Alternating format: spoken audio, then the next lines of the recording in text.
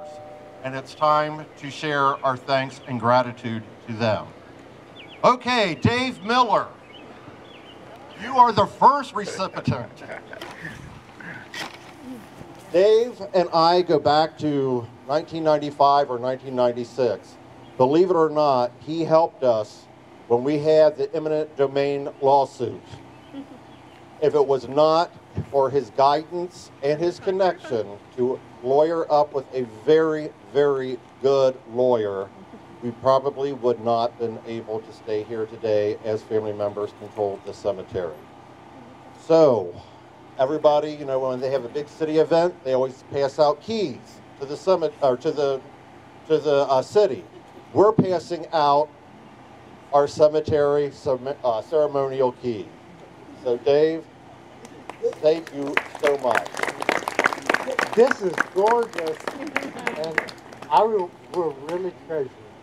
Thank you. Thank you. With Dave, with Loveland Magazine, he was our media sponsor. Steve Max, are you here? Loveland Legacy Foundation.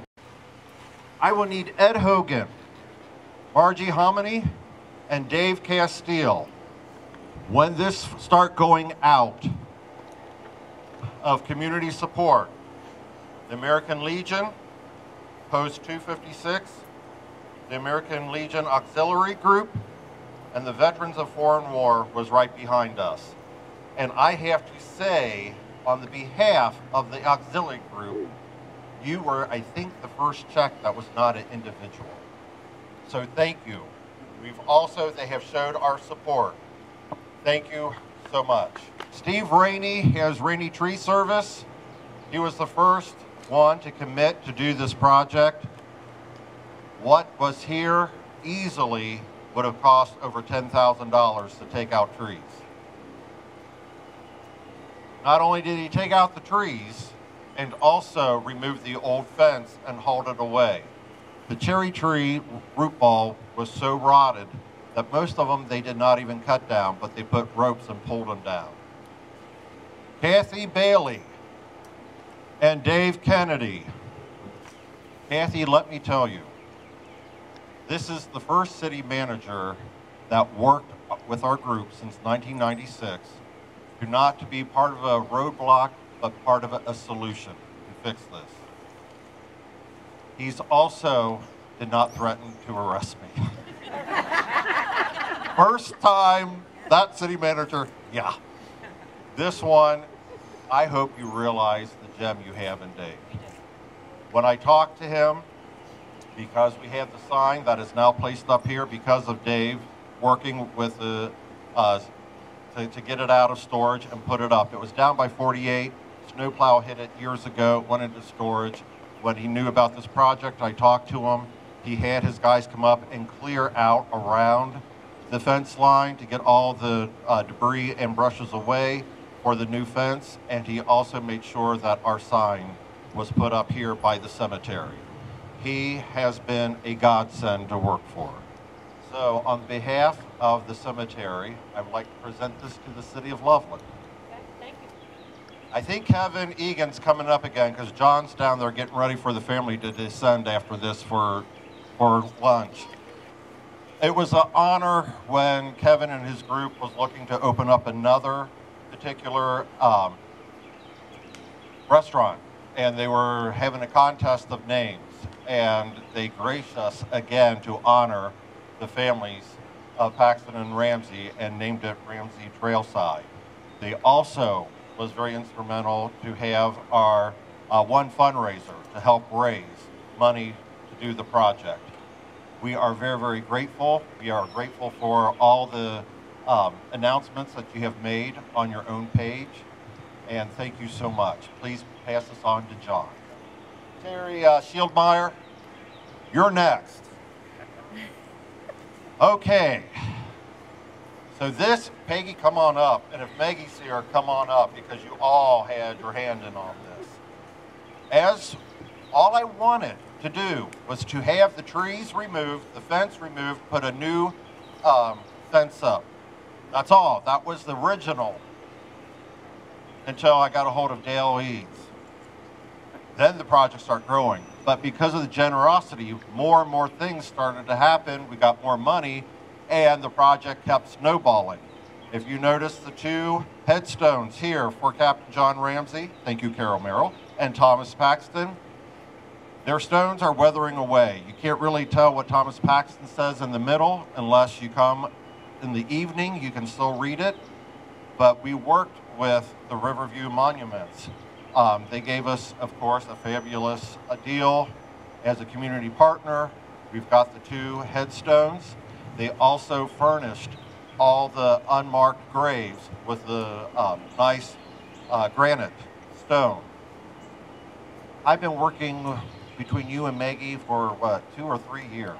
It's been a while. You're not going to hear from me unless you want to.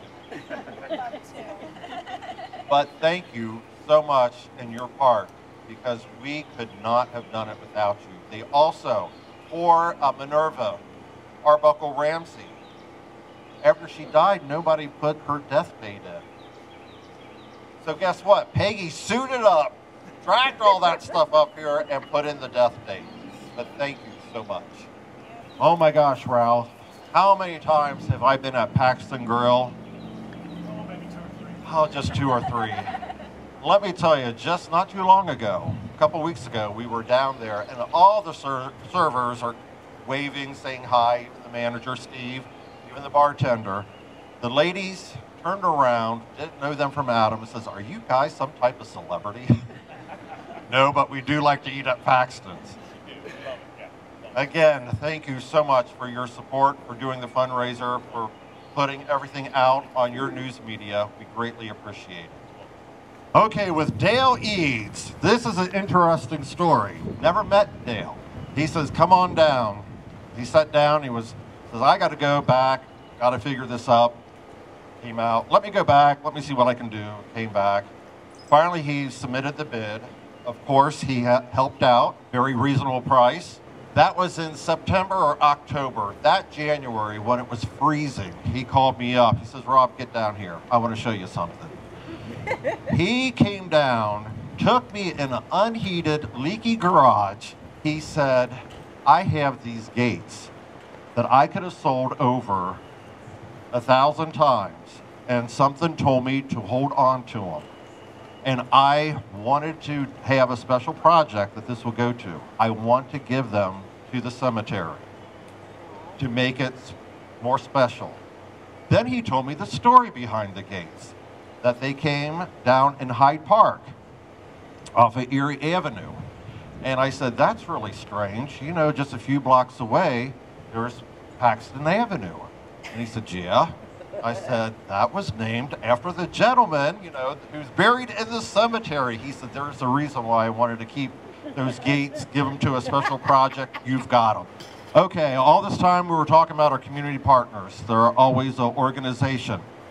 There is somebody that never met until about three years ago. And she was helping with a grant that we were going to apply for. All I knew of this particular person that she was very good on the computer, very, very smart. I did not know until I got into the restaurant, she is legally blind.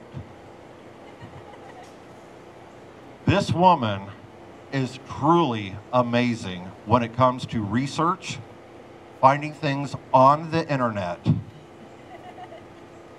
taking phone calls, editing my stuff, which I'm not very good and she can attest to it. She has done so much for our family, just not with this project, but with the family. Paige, you deserve more than this plaque. We had a little bit left of wood left over from the project. And I'm thinking, who put in so much time at the beginning of all this? Who did all of our typing?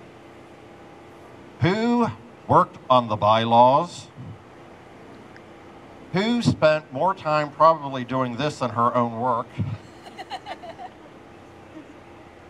and it's like, this lady did a lot. Glenna Carpenter, we got something for you.